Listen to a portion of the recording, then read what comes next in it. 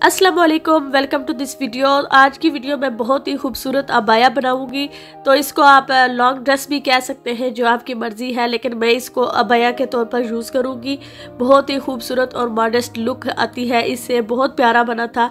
तो इसको मैंने इस तरह से फोर फोल्डेड में फैब्रिक को लिया है और इसको इस तरह ट्राइंगल शेप में फोल्ड किया है। जो स्कर्ट है, इसका मेज़रमेंट सिर्फ़ इतना है कि आपने पहले कमर का नाप लेना है कि आपकी पूरी कमर कितनी है, फिर उसको आपने फोर से डिवाइड करना है और जो आंसर आएगा, फिर उसी हिसाब से आपने निशान लगा लेने हैं। तो यहाँ पर मेरा आता है तकरीबन नाइन इंचज़ तो वहाँ पर मैंने निशान लगा लिया है और उसके बाद ऊपर जो कॉर्नर बना हुआ है, वहाँ पर रख कर आपने यहाँ पर सारे निशान लगा लेने हैं तो इससे एक गोलाई की शेप आ जाएगी। और उसके बाद आप यहाँ पर कट कर सकते हैं। तो लेंथ आपने जितनी रखनी है, आप अपनी मर्ज़ी के मुताबिक रख सकते हैं। इसकी शेप जो है वो अम्ब्रेला होगी तो फिर उसी हिसाब से हमने इसका नीचे से गेयर कट करना है। अब जितना भी एक्स्ट्रा फैब्रिक है, उसको कट करके अलग कर लेना है। अब देखें कि इसकी कटिंग हो गई है। ये वाला जो फैब्रिक मैंने लिया था, इसका बर काफ़ी ज़्यादा था तो इससे, इसकी कटिंग जो है बहुत अच्छे से हो गई है और जो सिलाई है वो सिर्फ़ एक ही आती है यहाँ पर। अब चाहे तो ये दरमियान में रख सकते हैं, फ्रंट पार्ट में इसको आगे से अगर ओपन रखना चाहते हैं तो ओपन भी रख सकते हैं, लेकिन मैं जो है इसको बंद कर दूँगी। इसको सिलाई लगा दूँगी और दूसरी साइड पर भी मैं सिलाई लगाऊँगी, क्योंकि ये वाली अगर ये फ्रंट साइड पर रखूँ तो अम्ब्रेला जो है वो उसका नीचे से घेर सही नहीं आता, जो चुनटे आती है अम्ब्रेला में वो सही नहीं आती दरमियान में से प्लेन हो जाता है और जो चुनटे सी आती है वो जैसे अम्ब्रेला फ्लो करता है नीचे की तरफ़ तो उसकी में एक चुनटे सी नज़र आती है तो वो वाली जो है वो साइड्स पर आती है तो इसीलिए मैं इसको ऐसे बनाऊँगी जैसे मैंने इसको कट किया था कि दोनों साइड्स पर सिलाई आ जाए, लेकिन जो है कि जो अम्ब्रेला है इसका फ्लो जो है वो बराबर हो। पेटी का पार्ट कर कट करने के लिए मैंने ये वही वाला फैब्रिक लिया है जो अम्ब्रेला कट करने के बाद बचा था। तो उसी में से जो है पेटी की कटिंग कर लूँगी। अब ये एक मैंने रेक्टेंगल शेप में पीस कट कर लिया है और ये डबल फोल्डेड है तो ये दो पीसेस है फ्रंट और बैक का। तो इसकी जो लंबाई है वो तकरीबन है ट्वेंटी थ्री इंचज़ और इसकी जो चौड़ाई है वो है तेरह इंचज़ तो आप अपनी ऊपर जो चेस्ट के हिसाब से आपने ये पेटी का पार्ट कट करना है। अब इस फैब्रिक को मैंने फोर फोल्ड में ले लिया है और यहाँ पर जो आर्म होल की गोलाई है वो दे लूँगी और नेक जो है वो कट कर लूँगी। तो नेक डिज़ाइन आप जो चाहे बना सकते हैं आपकी अपनी मर्ज़ी है और यहाँ पर जो पेटी है वो फ्रंट पार्ट में आप गोलाई ज़्यादा देना चाहते हैं तो दे लें, लेकिन मैंने इसको फिटिंग नहीं देनी तो इसलिए मैं दोनों साइड्स पे फ्रंट और बैक की कटिंग एक जैसी करूँगी। और नेक भी ऊपर से सिंपल सी रखूँगी, क्योंकि मैंने इसमें थोड़ा सा और डिज़ाइन ऐड करना है। तो यहाँ पर जो मैं सिर्फ़ एक्स्ट्रा फैब्रिक जो है वो कट कर लूँगी और थोड़ी सी मैंने फिटिंग की जो है वो कटिंग की है थोड़ा सा तिरछा कट दिया है, बाकी सारा नॉर्मल उसी तरह कट किया है। और जो ऊपर नेक है, उसको भी मैं गोलाई की शेप में कट किया है। अब यहाँ पर जो आम होल की गोलाई दी है ये वाली मैं इस तरह से फैब्रिक के साथ मिलाकर रख कर चेक कर लूँगी कि कितनी है फिर इसी हिसाब से जो है स्लीव्स की कटिंग कर लूँगी।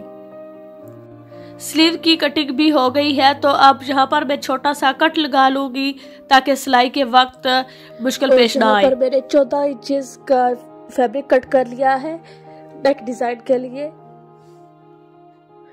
मैं राउंड शेप में नेक बनाऊँगी तो इसीलिए मैं यहाँ पर जो है, जो पेटी वाला हिस्सा है, वो इस तरह इसके ऊपर रख कर जो है, यहाँ पर कट कर लूँगी।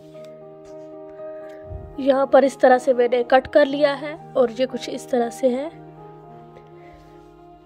आपने इसको ज़्यादा डीप करना है तो डीप भी कर सकते हैं, लेकिन मैं इसको ज़्यादा डीप नहीं करूँगी, इसको आप बाद में भी कर सकते हैं। तो ये कुछ इस तरह से है। यहाँ पर पहले जो स्कर्ट है, उसको स्टिच कर लूँगी, जहाँ पर एक सिलाई थी, लगाने वाली थी, वो वाली सिलाई लगाकर पहले उसको कंप्लीट कर लूँगी। आप चाहे तो यहाँ पर ये जो वाइट वाला फैब्रिक नज़र आ रहा है थोड़ा थोड़ा ये वाला कट कर दे, लेकिन मैंने इसको पहले कट नहीं किया। सिलाई करने के बाद इसको कट कर दिया है। और सिलाई करने के बाद यहाँ पर मैंने इस पर जिग जैग की भी सिलाई लगाई है, ताकि सिलाई मज़बूत हो जाए। और इसी तरीके से दूसरी साइड पर भी सिलाई लगा लेनी है। पहले जैसे मैंने बताया था कि ये वाली सिलाई मिडल में आनी चाहिए थी, लेकिन यहाँ पर आने से जो है गेयर सही नहीं रहता तो इसीलिए फिर मैंने इसको साइड पर कर दिया है। तो इसी अब एक सिलाई है यहाँ पर तो दूसरी साइड यहाँ पर भी सिलाई लगानी है, नहीं तो ये अच्छा नहीं लगेगा। तो यहाँ पर भी सिलाई लगा कर फिर यहाँ से कट कर दूँगी। अगर आप यहाँ से कट नहीं करेंगे, सिर्फ़ सिलाई लगाएँगे तो उसमें थोड़ा सा खिंचाव होगा तो बेहतर है कि इसको कट कर दें। स्कर्ट की दोनों सिलाइयाँ कंप्लीट करने के बाद अब यहाँ पर जो कंधे की सिलाई है, पेटी की, वो वाली सिलाई लगा लूँगी और उसके बाद ये जो फिटिंग वाली है, ये वाली सिलाई लगाकर पेटी को तैयार कर लूँगी। यहाँ पर अपर पार्ट जो है, वो मैंने रेडी कर लिया है। ये जो तीरे की सिलाई थी, वो भी लगा ली है और ये इस साइड की जो सिलाई थी, वो भी लगा कर इसको कंप्लीट कर लिया है। अब जो है, इसका नेक जो है, वो मैंने फ्रंट और बैक दोनों का एक ही साइज़ रखा है और एक ही शेप रखी है।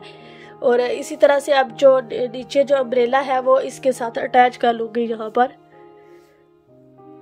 अब स्कर्ट को पेटी के साथ अटैच करना है तो जो स्कर्ट वाला हिस्सा है, उसको मैंने इस तरह से रॉन्ग साइड बाहर वाली साइड पर रखी है, और जो सीधी साइड है, वो अंदर वाली साइड पर रखी है।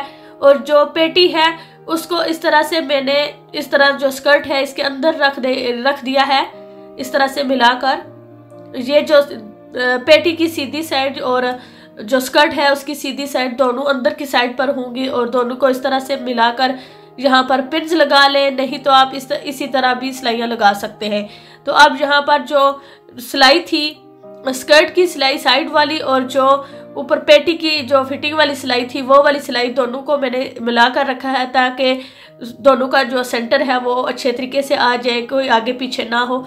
तो अब दोनों को बराबर करके यहाँ पर सिलाई लगा देनी है।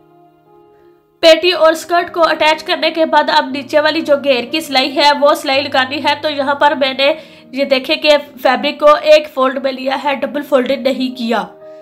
क्योंकि अम्ब्रेला का जो घेर है, नीचे से उसकी शेप गोलाई में आती है। अगर आप दो डबल फोल्ड कर लेते हैं तो फिर उसकी सिलाई लगाना मुश्किल हो जाती है। तो पहले आप इस तरह से एक फोल्ड लगाकर उसकी सिलाई लगा लें और उसके बाद दोबारा से फोल्ड करके अच्छे तरीके से सिलाई लगा लें। ये ऊपर जो नेक डिज़ाइन के लिए मैंने सर्कल कट किया था, वो वाला है, उस पर भी मैंने यहाँ पर राउंड में सिलाई लगा ली है एक तो अब यहाँ पर मैं लेस लगाऊँगी। तो यहाँ पर भी मैं लेस अटैच करूँगी। लेस ऑप्शनल है, अगर आप लगाना चाहते हैं तो लगा लें, नहीं लगाना चाहते तो ना लगाएँ, और इसकी जगह आप फैब्रिक की फ्रिल बनाकर भी लगा सकते हैं। अगर आपने मेरे चैनल को सब्सक्राइब नहीं किया हुआ तो प्लीज़ ज़रूर सब्सक्राइब कर लें और बेल नोटिफिकेशन भी दबा दें ताकि आने वाली वीडियोस के नोटिफिकेशन आपको मिल सके। और सब्सक्राइब किया हुआ है तो प्लीज़ वीडियो को लाइक ज़रूर कर दिया करें। थैंक यू अब यहाँ पर मैंने लैस लगा ली है। इस तरह से। तो लेस जो है, यहाँ पर मैंने जिग जैग की सिलाई लगाई है तो यहाँ पर ऊपर भी मैंने इस तरह से अटैच कर ली है गोलाई में। तो अब इसको, इस सर्कल को जो है अबाया के साथ अटैच कर लूँगी। इस तरह से ये जो गला है, इसको इस तरह से रखना है। ये सीधी साइड है और ये वाली जो है, जो हमने तैयार किया है, ये सर्कल ये हमने इसके अंदर डालना है। इस तरह से और फिर यहाँ पर सिलाई लगा लेनी है यहाँ पर इस तरह से सिलाई लगाते जाना है ऑल अराउंड यहाँ पर मैंने जिग जैग की सिलाई नहीं लगाई क्योंकि इसको जब फ्लिप करके दूसरी, सीधी साइड पर निकालेंगे तो उसके बाद भी इसके ऊपर दो सिलाइयाँ लगा दूँगी ताकि ये अच्छे तरीके से मज़बूत हो जाए। और ऊपर जो लैस मैंने लगाई है, वो थोड़ी सी ऊपर की तरफ़ उठती है तो ऊपर डबल सिलाई लगाने से फिर ये अच्छे तरीके से सेट हो जाएगी, ऊपर नहीं उठेगी। स्लीव्स भी मैंने उसी तरीके से वन फोल्ड करके पहले एक सिलाई लगाई है और उसके बाद आप ये जो इलास्टिक है वो मैं इसमें ऐड करूँगी। तो इलास्टिक आपने अपनी रिस्ट के हिसाब से लेनी है। जितनी आपकी रिस्ट होगी, उतनी ही आपने इलास्टिक लेनी है। और उसको मैंने, जो इलास्टिक है, उसको सिलाई लगा कर बंद कर दिया है। अब इसको इस तरह से फैब्रिक में रख कर यहाँ पर सिलाई लगा दूँगी। सिलाई लगाते हुए ये ध्यान रखना है कि जो सिलाई है वो फैब्रिक पर आनी चाहिए। इलास्टिक के साथ साथ आनी चाहिए, लेकिन इलास्टिक के ऊपर नहीं आनी चाहिए। अब देखें कि मैंने यहाँ पर सिलाई लगाकर कंप्लीट कर लिया है और ये देखें इसकी कितनी खूबसूरत लुक आ रही है। अब अबाया की आप फाइनल लुक देख ले। अभी मैंने इसको प्रेस भी नहीं किया, लेकिन ये बहुत ही प्यारा और नीट बना है।